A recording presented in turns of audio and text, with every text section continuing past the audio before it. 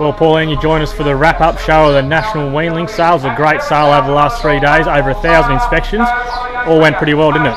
Yeah, we had a great sale and uh, yeah, we were really, really busy. A bit concerned the first day or two, but um, yeah, we had a good. Yeah, pretty steady to start with, but once we got going, we got up to a thousand, which was good to see. And the top of our sale was, of course, the shooting to win Satella filly. She sold for 130,000. Yeah, rip and filly, really nice, well balanced, great hip and hind quarter. Uh, I just want to thank uh, Lime Country, Joe, and uh, uh, Great Griffin. Yeah, Great Griffin for uh, their support and uh, yeah, Yeah, great for it. really good one. They also sold the uh, Layette colt for Yeah. 70,000. I think the reserve was 35, so 35, so put on the market and great result. Really, really happy. Yeah, he had a, had a lot of interest, didn't he? So too did the Hinchinbrook De Vera colt. Yeah, De Vera sold really well as well. He's going to Great Farm, Musk Creek, and uh, I'm sure he'll end up being a cracking yearling next year to Magic Millions sales for sure. And I guess the, the, our favourite result was the time for Royal Shadow Grande. There's no more excited man in Gundy than and our stallion manager Lewis Roby. Yeah, I'm so happy for Louis. He deserves every uh, bit of it. Um, worked really hard for us, and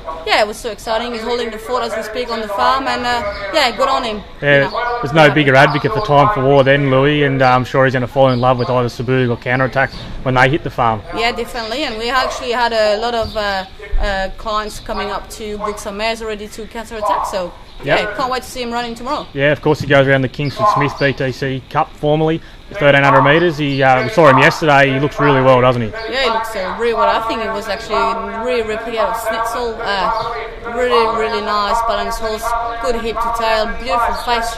Um, yeah, Mick Malone was actually really, really happy to, uh, you know, to get a horse as his physique is everything we represent. So happy. For sure, and we roll straight onto the mares. They turn up tonight. We've got 20 mares going through, and we'll wash them in the morning. They'll be ready for inspection 8:30 on Sunday morning. Yeah, that'd be really well. And we've got some nice mares as well.